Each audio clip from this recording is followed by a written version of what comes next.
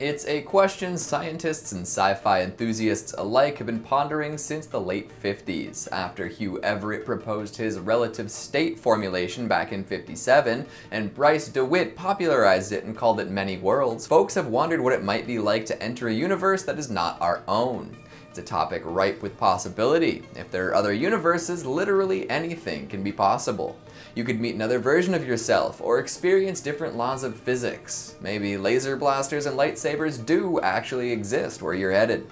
So let's break down what it means to travel into a parallel universe, and look at some popular possibilities in pop culture. Hello, fellow friends and philosophers, and welcome back to the most mind-bending channel on YouTube, Life's Biggest Questions. I'm your voice in the void, Keegan Hughes, and today we're going to be asking this multifaceted question. What if you traveled into a parallel universe? Before we get going, make sure to give this video a big thumbs up and subscribe for more dimensional dreams. Perfect, let's begin. I'll kick off by saying I don't know a whole lot about particle physics or string theory or quantum mechanics. My understanding of these topics is surface level at best, but I'll do my best to introduce some ideas in an easy to understand way. If they interest you, I would really encourage you to head off and do some deeper research and see if you can come up with some interesting conclusions of your very own. The universe is a fascinating place and you are not gonna find all the answers on YouTube. So I suppose the first thing we need to talk about is parallel universes themselves. There are plenty of different ways to interpret the multiverse. The idea itself has been around for ages with theories dating back to the Islamic Golden Age. Of course, the understanding of the idea back then was much different than it is now, but it is interesting to see that people were considering other worlds might be out there. Parallel universes are to exist, we have to believe in some version of the multiverse theory. Thankfully, these ideas are a little easier to explain these days with pop culture essentially having a monopoly on multiverses. If you've seen a few MCU movies or taken in Spider-Verse, you've got an idea of what a multiverse can mean. Sure, they're simplified to make for engaging storytelling, but it's not as far off and intangible as it once was. The multiverse is a hypothetical group of multiple universes, essentially comprising everything that exists. Each universe is a parallel or alternate or other universe. As of right now though, this is just a theory.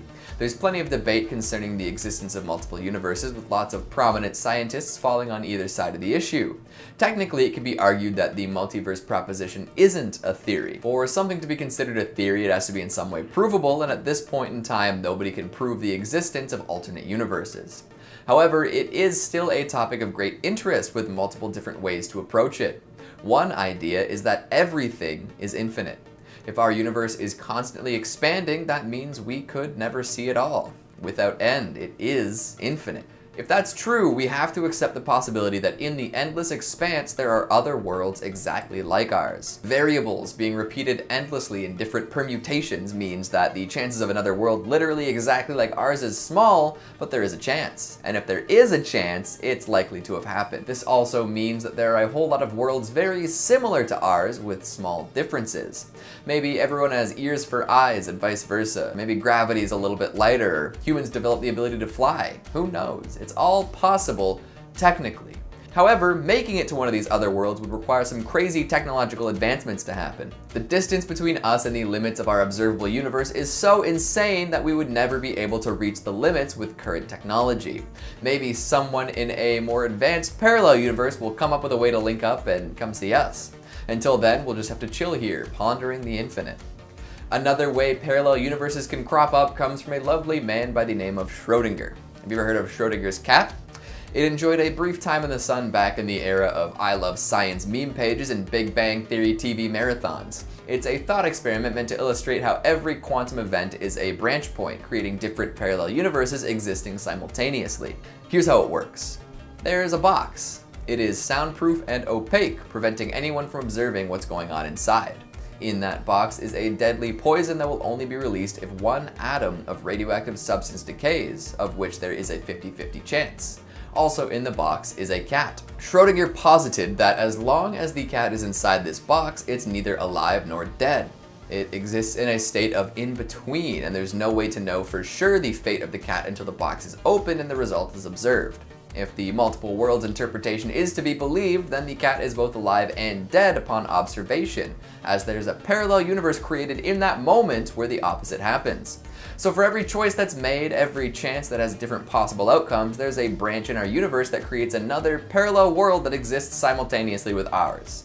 Now again, there's no way to prove this. We couldn't communicate with any of these other branches even if we wanted to. But how fun would it be to take stock of all the different possibilities? Haven't you always wondered what your life might be like if you said yes to that job, or went to a different school, or if you got a burrito instead of a burger that one time? If we're going to subscribe to this theory, all these answers are out there, but in parallel worlds that we may never be able to contact. The best possible version of yourself might be out there somewhere, the one who made all the right decisions. Or maybe you're the best version. Stick with that for now. There's one more multiverse idea that we'll discuss today before looking at some pop culture examples. It stems from the theory of cosmic inflation, which posits that at some point our universe expanded very quickly, independent of our own universe. Which posits that at some point, part of our universe expanded very quickly, independent of the rest of the universe. Our universe is like a bubble then. There are other bubbles out there that also expanded very quickly, independent of our universe and at any time a new bubble may pop up and expand, creating its own little universe. Kind of like all sorts of individual Big Bangs in their own right. Could we visit these bubbles? Well, we'd have to make it back to before the Big Bang and find out where the bubble is before it expands, so it's not likely.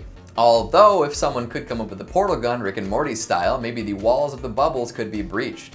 Now, while a lot of the multiverse theories seem to say that we can't visit or contact or prove the existence of other universes, nobody's totally willing to throw the idea out the window. We seem to have found ourselves in a perfectly habitable stretch of universe, and it's hard to imagine how we got so lucky. How did we manage to find such a fantastic Goldilocks-style primordial soup? Not too hot, not too cold, not too hostile, not too lifeless. If infinite different universes are out there, a world like ours can be considered an inevitability.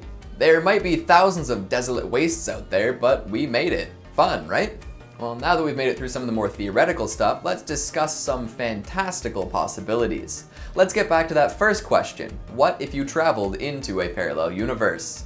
There are countless books, movies, TV shows, video games, radio programs, and more that have considered this, and because of the implications of the infinite, there are infinite possibilities attached to interuniversal travel.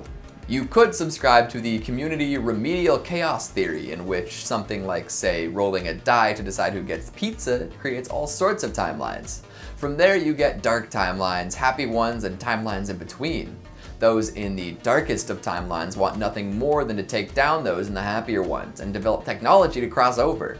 So if you're in that kind of situation and you're traveling to a parallel universe, you kind of have to assume that you're the bad guy. Staying on that Dan Harmon train of thought, you could also live life like Rick Sanchez. Using his mad scientist brain, he hops between universes to go on harebrained adventures with his grandson. Aliens, hive minds, Cronenbergian creatures, medieval societies, and more await if you opt to take this approach to interdimensional travel. Definitely more exciting than some other options, but infinitely more dangerous.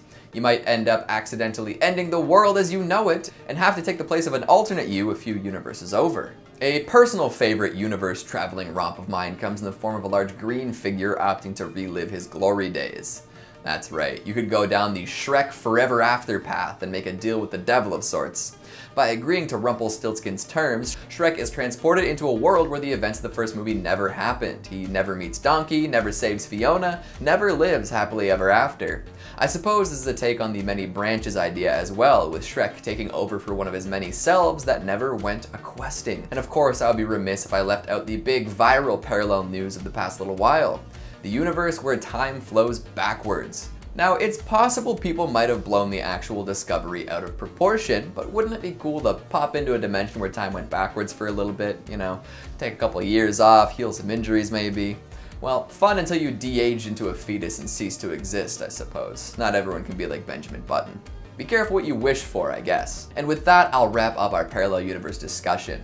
What kind of parallel universe would you want to visit? Would you be willing to risk the possibility of ending up somewhere unsuitable for life? What's your favorite parallel universe story? Make sure you let me know down in the comments. Speaking of comments, let's take a look at some of your more wrathful ones from What If the Black Plague Happened Again in 2020. Tan Potato says, don't give 2020 ideas. I'm sure whatever 2020 has in store for us is much more insidious than whatever I can come up with. The Futurist Tom says, I've been watching LBQ for years. I like their videos, that's why I decided to create my own sci-fi slash futurist channel. Way to go, Tom. Keep up the good work. Odysseus Alpha T says, That's another one for Apocalypse Bingo. I'm getting close to a full card here. What do you think the prize is? Huzaifa Sultan says, At least we are making history, guys. Buck up. That's a fun way to look at it. It'll be interesting to read textbooks in 30 years or so. And SMB85 DKC94 says, What if there were only 1 million people on Earth? Boy, the problems we'd have would be so much smaller, eh? And that's all the time we have for today. Before I crumble to many pieces, make sure to give this video a big thumbs up and subscribe for more theoretical themes. Thanks for watching, and I'll see you next time.